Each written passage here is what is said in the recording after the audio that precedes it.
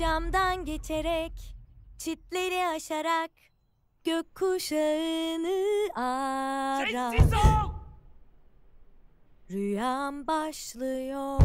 Sana sus dedim. Özgür olacağım. Öremiyorum örgümü. Willoughby çocuklarının tek isteği normal bir aileye sahip olmaktı. Ama sevgi dolu ebeveynlerinin onlara karşı hiç sevgisi kalmamıştı. Merhaba anne. Ürkütücüler. Barnabiler bir durur musunuz? Ailemiz yeterince kötü. Onlar olmasa ailemiz ne müthiş olurdu bir düşünsenize. İki sinsi yetişkinden nasıl kurtulacaksın ya? Kolay. Artık. Hayır orası değil. Şurası.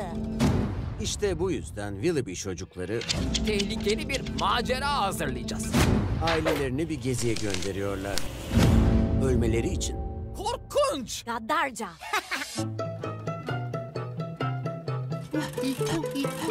Orada ne yazıyor? Dünyayı gör. Başka ne yazıyor biliyor musun? Çocuk getirmek yasak. Maceraya. Başardık. Biz artık özgürüz.